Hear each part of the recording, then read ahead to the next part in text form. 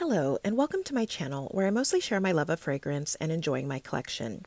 In this video, I'm going to share and review my entire Van Cleef & Arpels collection, as well as some tips on how to get them for cheaper prices. Thanks so much for stopping by, and let's go ahead and get started.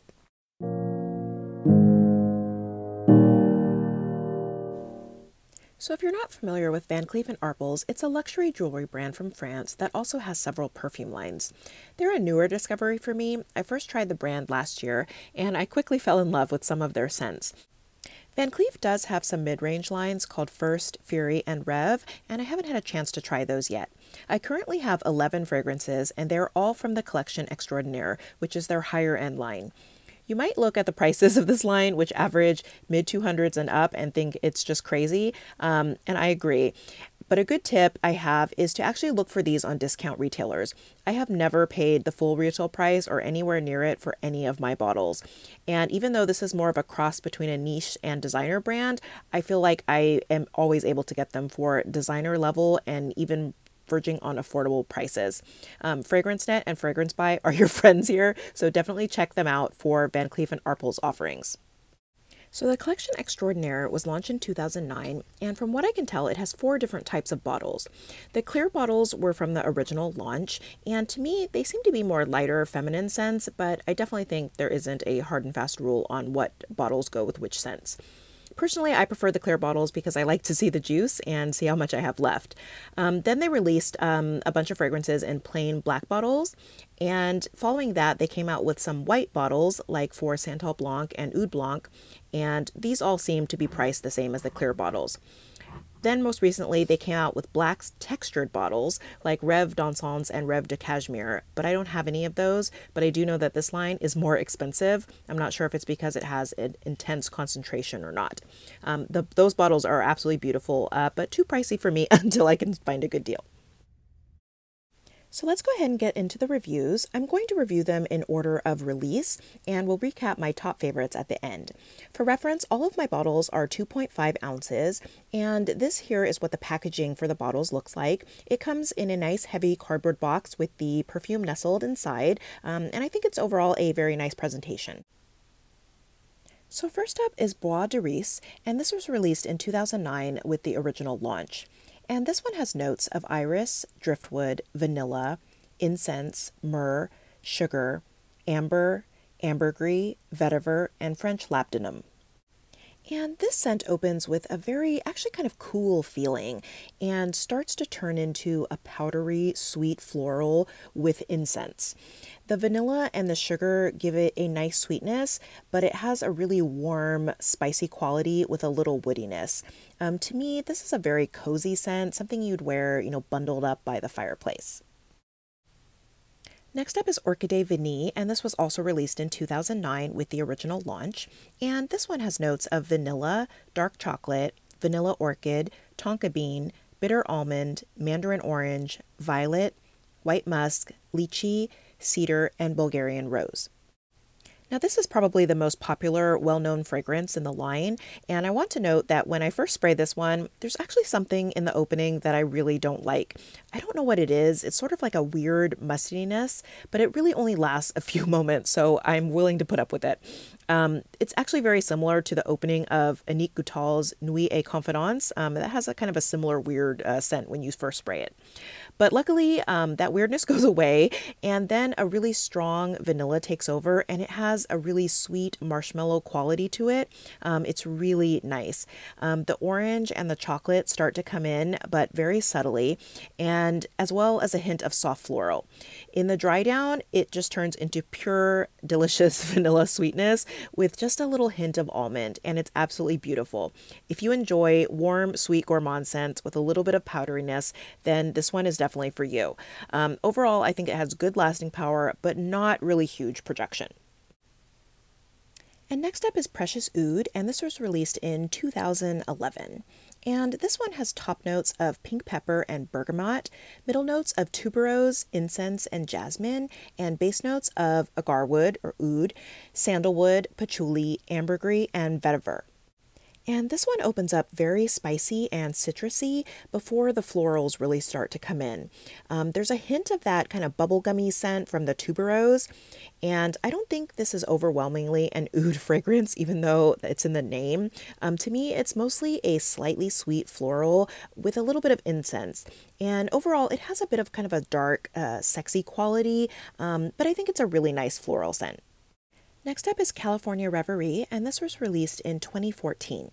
And this was marketed as a women's scent. And this one has top notes of neroli and mandarin orange, mid notes of jasmine sambac and frangipani, and base notes of beeswax and vanilla. And this one opens with strong neroli and orange, and then the florals start to come in. I really like frangipani, so I like that it's detectable in the scent as well as the jasmine. And when this dries down, there's a little bit of sweetness coming in from the honeyed base as well as the vanilla, which gives it a little creaminess. Um, I can't pick out the vanilla um, too much. You can just kind of tell an overall uh, sweetness. And the standout note throughout this scent is really the neroli.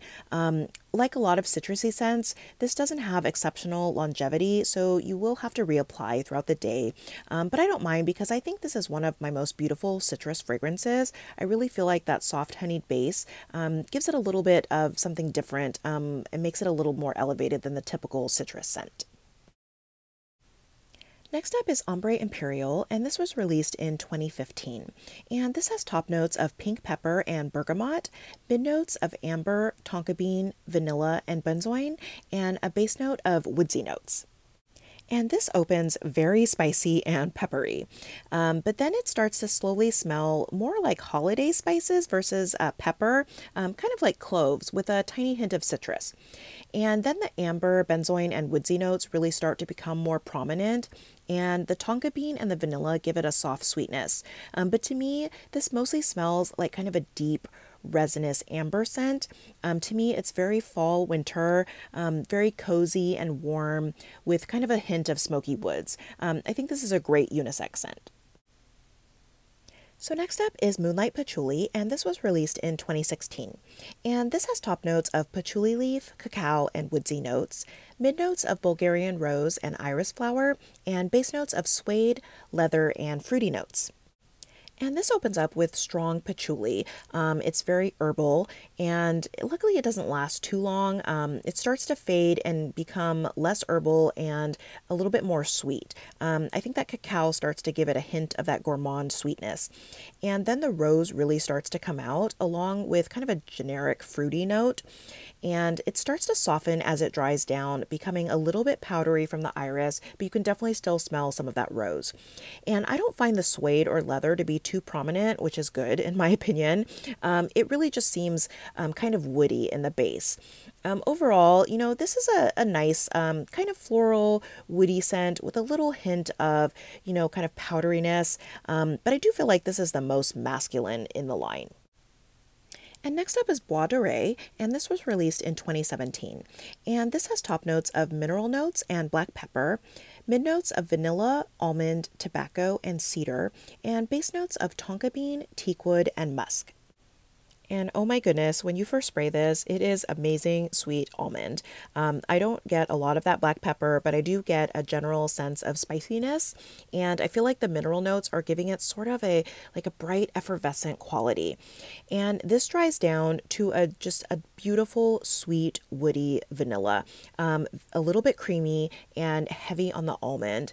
It's really feminine and delicious, and I absolutely love this one. I think it's absolutely beautiful. Next up is Neroli Amara, and this was released in 2018. And this one has top notes of mandarin orange, bergamot, Italian lemon, and pink pepper, mid notes of orange blossom, cypress, pear, and black pepper, and base notes of neroli and white musk. And this one opens with a strong citrus and a hint of spiciness from the pepper. And then the orange blossom starts to come in and soften it. And I also smell a bit of the pear in that middle. And when it dries down, it becomes a nice musky neroli scent. Um, kind of soft, not really sweet, but also not bitter.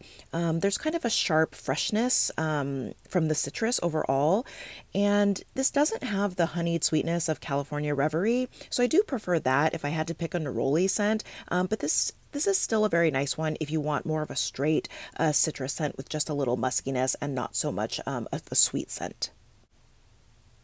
Then we have Rose Rouge, and this was released in 2018. And this one has top notes of blackcurrant, pink pepper, and bergamot, mid notes of rose and raspberry, and base notes of cacao pod, vanilla, patchouli, benzoin, vetiver, and musk. And this is the second rose fragrance in the line. They used to have a scent called Rose Velours, which I believe is replaced, but they're not actually the same scent. And Rose Rouge opens with strong, dewy rose and a little bit of sharpness, probably a mix of the pink pepper and bergamot. And then the scent starts to become less green, and the raspberry really starts to come in.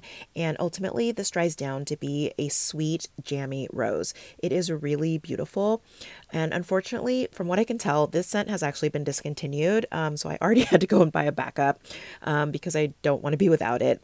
Um, this scent is very reminiscent of a couple Maison Lancome scents, um, Roses Berberanza and Parfait de Roses. So if you like, you know, sweet, jammy rose scents, um, definitely I think would be worth picking up.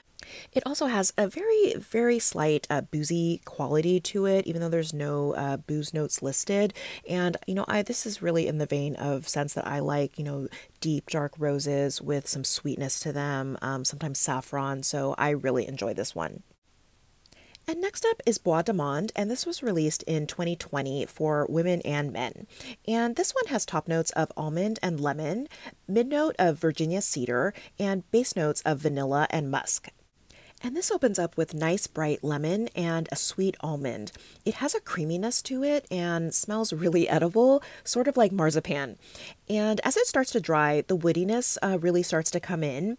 And to me, this is not a very complex scent. It really smells like a creamy almond with a little bit of sweet vanilla over a woody base. The lemon becomes less prominent over time.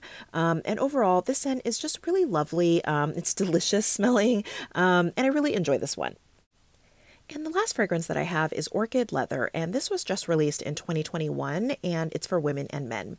And this one has notes of vanilla absolute, incense, plum, labdanum, and cardamom.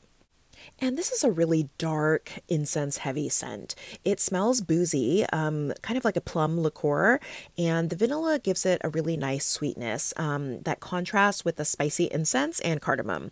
I really do like this one. I think it's very different from a lot of the other fragrances I own. It's really a good scent for a night out.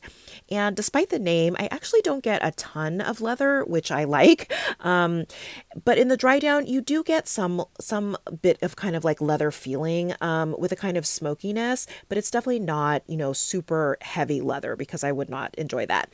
Um, this is the newest one to my collection, so I'm still kind of playing with it, um, learning how it wears on me. Um, but you know, as a first impression, I really do like this one. I think it's different, and I like that really dark, uh, boozy, warm quality to it.